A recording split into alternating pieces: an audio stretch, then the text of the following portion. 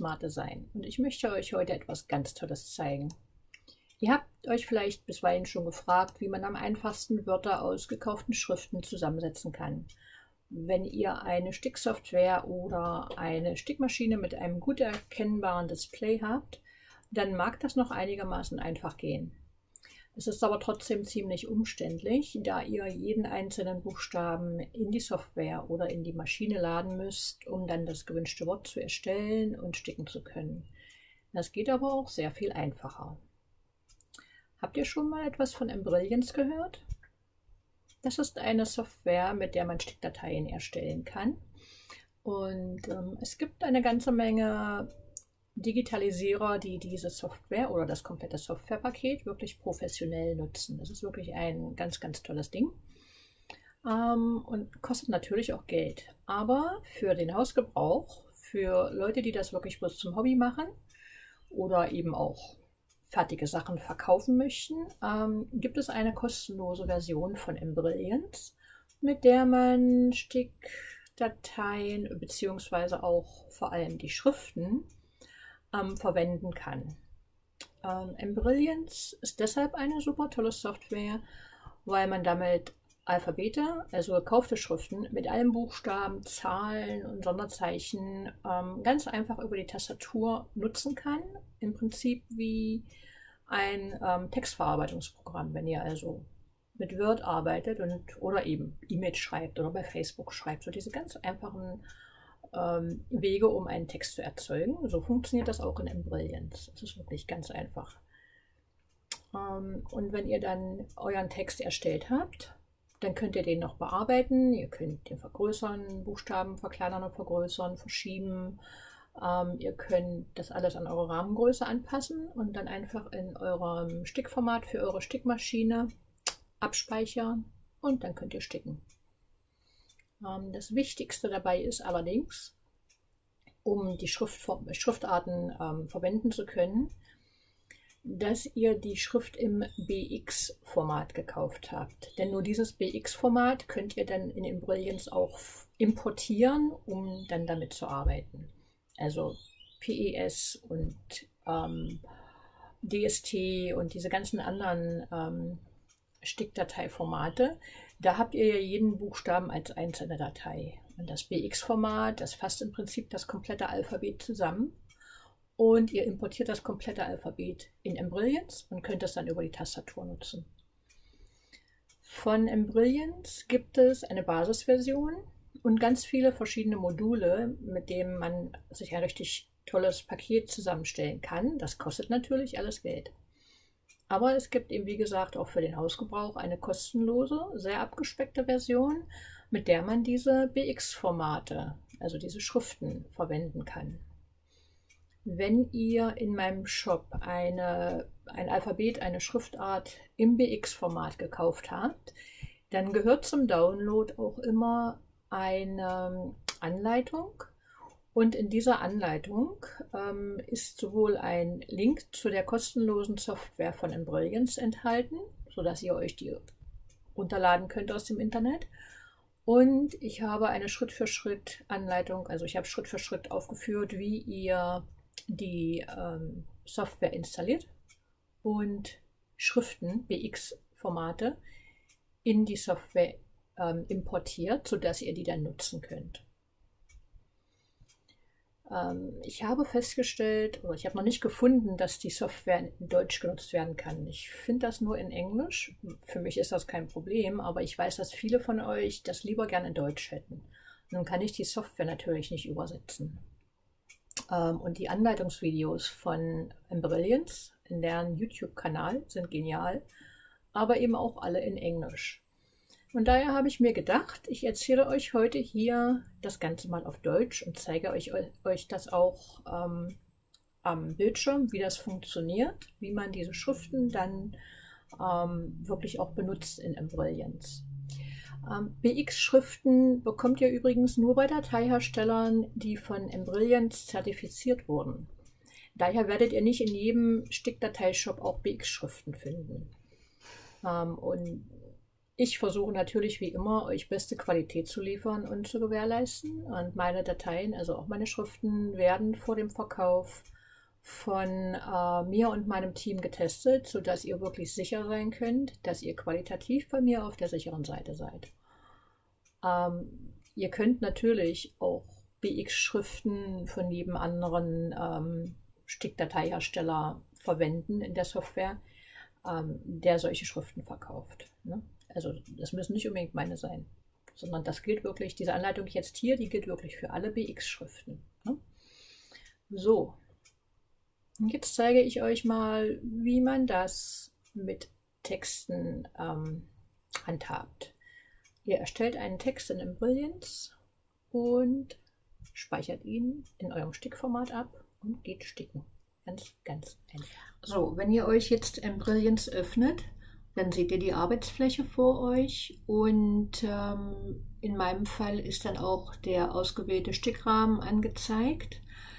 Ähm, hier unten in der Statusleiste seht ihr die Größe des eingestellten Stickrahmens. Das ist bei mir 10 x 10 cm. Ihr könnt die Rahmengröße ändern, indem ihr hier oben auf Präferences geht und dort könnt ihr alle oder fast alle möglichen verfügbaren Rahmen für die Stickmaschinen auswählen.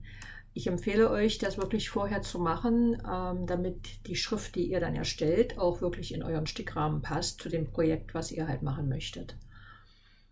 Wenn ihr diesen Rahmen nicht seht, wird hier unten trotzdem der ausgewählte Rahmen angezeigt, zum einen. Ihr könnt aber auch den Rahmen einblenden, indem ihr hier oben auf View klickt und dann einen Haken setzt neben Draw Hoop. Wenn ihr den wegnimmt, nehmt, ist der Rahmen halt weg. Und wenn ihr den Haken da wieder hinsetzt, ist der Rahmen wieder da. So, jetzt ähm, gehen wir bei und schreiben unser erstes Wort.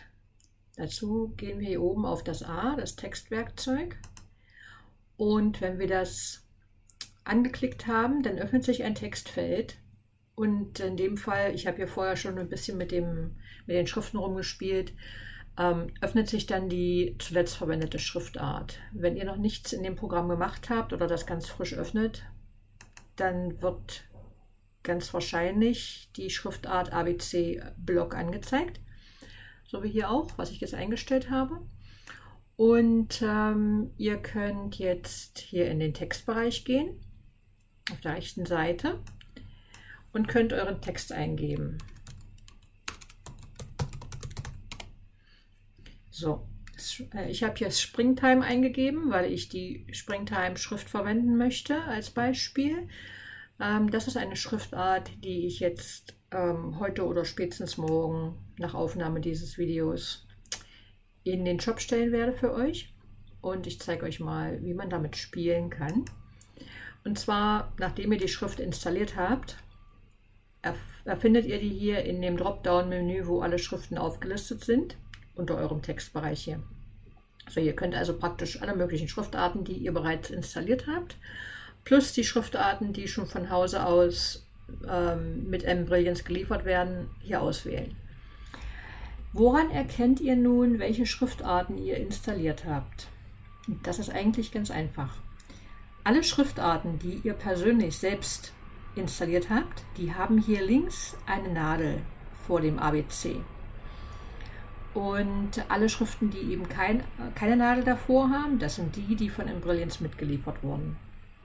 So, ihr wisst also, bei denen mit den Nadeln, das sind alle Schriftarten, die ihr vielleicht irgendwo gekauft habt, gedownloadet habt und dann hier installiert habt. So, jetzt ähm, ist hier um euren Text ein Rahmen angezeigt. Und der hat Anfasserpunkte an den Ecken und oben und unten. Und da könnt ihr, wenn ihr wollt, die Größe der Schrift ändern oder die Größe des Wortes ändern und an euren Rahmen anpassen, an eure Rahmengröße. Und hier oben rechts ist ein kleiner Kreis. Damit könntet ihr die, den Text auch drehen. Wenn ihr den Abstand der Buchstaben verändern wollt, gibt es zwei Möglichkeiten. Zum einen könnt ihr hier auf der rechten Seite auf Space gehen und dann die Buchstaben zusammenschieben. Das passt bei manchen Schriften, aber bei den meisten dekorativen Schriften ist das eher nicht so schön. Da mache ich das dann lieber von Hand. Und wie das geht, das zeige ich euch jetzt hier. Ihr seht ja hier über dem Buchstaben, über jedem Buchstaben so einen kleinen grünen, so ein kleines grünes Quadrat. Und um einen Buchstaben zu verschieben oder zu bearbeiten, klickt ihr einfach auf das jeweilige Quadrat und dann wird dieser Buchstabe ausgewählt. Und den könnt ihr dann verschieben. Den könnt ihr verschieben, den könnt ihr vergrößern und verkleinern oder drehen, weil der genau die gleichen Anfasserpunkte hat, wie das komplett markierte Wort, wenn ihr außerhalb des Bereichs dann auf das Wort klickt. Ne? So, ich schiebe mir jetzt also meine Buchstaben so zusammen, wie ich das möchte, damit das schnucklig aussieht, das richtig hübsch aussieht, wenn ich das dann sticke. Und ihr werdet feststellen, dass bei manchen ähm, Schriftarten die Buchstaben sich ein bisschen überschneiden. Das ist oft bei so dekorativen Schriftarten der Fall, so wie in diesem Fall hier. Ich finde das eigentlich ganz schön. Es kommt natürlich ähm, immer darauf an, um welche Buchstaben es sich handelt. Jetzt zum Beispiel hier bei dem T und dem I da sieht man dann den I-Punkt nicht mehr so schön. Ähm, um den wieder sichtbar zu machen, klickt ihr auf das T und macht das einfach ein bisschen größer. So. Macht ihr es einfach ein bisschen größer und schön passt es wieder. Dann könnt ihr auch hergehen und könnt der Schrift, dem kompletten Wort, eine andere Farbe geben. Dazu geht ihr hier im rechten Bereich auf Color, klickt hier auf, den, auf die Farbe und dann öffnet sich ein Fenster mit ähm, dem Garnkatalog. Und zwar könnt ihr hier oben euren Garnkatalog auswählen, den ihr verwendet. Ich arbeite mit Madeira Classic, deswegen ist bei mir Madeira eingestellt. Und dann habt ihr hier die komplette Garntabelle von dem jeweiligen Garnkatalog und könnt euch eure Farben aussuchen. Und dann macht ihr einen Doppelklick auf die entsprechende Farbe und schon ändert sich die Farbe des Wortes. Wenn ihr das Wort mehrfarbig sticken wollt, dann geht das natürlich auch. Dann markiert ihr wieder die jeweiligen Buchstaben einzeln, geht hier auf, die, auf das Farbfeld und sucht euch die Farbe aus, die ihr haben möchtet. Und so geht ihr dann mit jedem Buchstaben bei und ändert die Farbe, so wie ihr das haben wollt. Und so weiter und so fort. Ja. Ich mache jetzt hier mal ein bisschen was Buntes draus. So, Springtime. Das geht vielleicht noch. Time lasse ich komplett einfarbig. Mein Gelb. Schönes Gelb. Ja. Gut. Ähm, wenn ihr hiermit zufrieden seid, könnt ihr die Schrift oder das Wort auch schon abspeichern. Ihr passt also auf, dass das in den Stickrahmen passt, den ihr verwenden möchtet. Ihr könnt das immer noch vergrößern oder verkleinern. Ihr habt hier oben auch einen Bereich, wo ihr ähm, das wirklich manuell millimetergenau einstellen könnt oder Inch, wie ihr möchtet. Oder ihr könnt auch auf die Prozente gehen. Im Moment ist hier angezeigt 64,6 Prozent. Ähm, ich habe diese Schriftart für eine Buchstabenhöhe von 2,3 cm gespeichert. Das heißt, als ich die für euch erstellt habe, habe ich die Großbuchstaben auf 2,3 cm Höhe gesetzt und dann alle Buchstaben proportional passend dazu erstellt. Und das würde jetzt bedeuten, wenn ich jetzt auf 100% gehe, dann ist die Höhe des, des Wortes wirklich, also sorry, bei der Größe, bei der Höhe, das ist jetzt die Breite, hier ist die Höhe. Muss ich natürlich die Höhe auf 100% setzen. Und dann habe ich die Buchstabenhöhe, die ich eingegeben habe. Ne? So, die ich für euch vorgegeben habe. Damit werdet ihr auf der sicheren Seite qualitativ beim Sticken, dass die Buchstaben wirklich sauber ausgestickt werden. Ihr könnt die in Embrillions auch vergrößern und verkleinern, aber bitte denkt dran, dass die, die Buchstaben äh, ja im Ende auch bloß Stickdateien sind, genau wie jede andere Stickdatei auch. Und man sollte wirklich vorsichtig sein bei der Veränderung von Größen. Ähm, die Designer, ich inklusive, ähm, empfehlen eigentlich, die Stickdateien in der Größe zu sticken, in der sie gekauft wurden, weil jede Veränderung der Größe auch eine Veränderung des Stickbildes mit sich bringt. Ähm, das kommt immer darauf an, was für eine Software ihr verwendet, aber selbst die beste Software bringt das nicht so hundertprozentig hin, wie äh, wenn der Designer das Original der Stickdatei für euch anpasst. Das geht einfach nicht, weil ähm, nur der Designer ja die Originalformate des ähm, Motivs hat und nur der kann euch wirklich fehlerfrei eine Größenänderung vornehmen. Aber wie gesagt, die einzelnen Stickprogramme oder beziehungsweise die Hersteller der Stickprogramme werben ja gerne damit, dass ihr damit alles Mögliche machen könnt.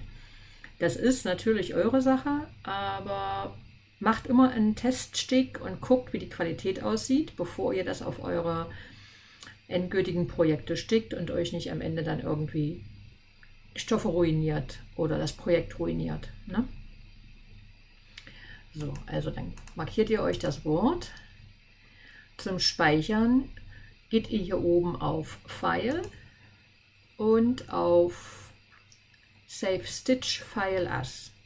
Damit könnt ihr das erzeugte Wort an jeder beliebigen Stelle, unter anderem auch auf einen USB-Stick oder auf eure Festplatte speichern. Ihr gebt dem Ganzen einen Namen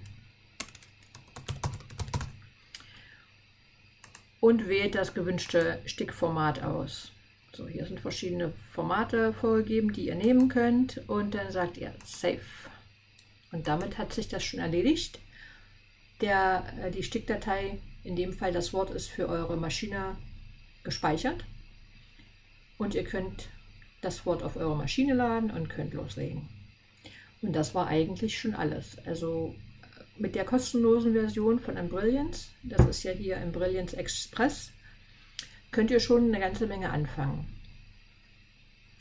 Was ihr nicht könnt, das, das ist ein Kaufmodul, was man aber dazu kaufen kann von Embrilliance, ist ähm, Stickdateien so bearbeiten, dass man die Stickdichte reduzieren kann und solche Sachen. Aber das sind alles kostenpflichtige Module. Also ihr könnt nicht erwarten, dass diese kostenlose Version von Embrilliance euch alles das liefert, was die Kaufmodule ähm, leisten. Das ist natürlich logisch. Aber ich finde, man kann hiermit schon eine ganze Menge anfangen. Und jetzt wisst ihr, wie ihr die, die BX-Schriften verwenden könnt und ich wünsche euch ganz viel Spaß damit. Dankeschön. Ich wünsche euch viel Spaß und ich hoffe, euch hilft die Anleitung ein bisschen. Und wenn sie euch gefallen hat, freue ich mich über ein Däumchen hoch und ihr könnt auch gerne meinen Kanal abonnieren, damit ihr immer ähm, Updates bekommt, wenn ich wieder neue Anleitungsvideos hochstelle. Okay, Dankeschön.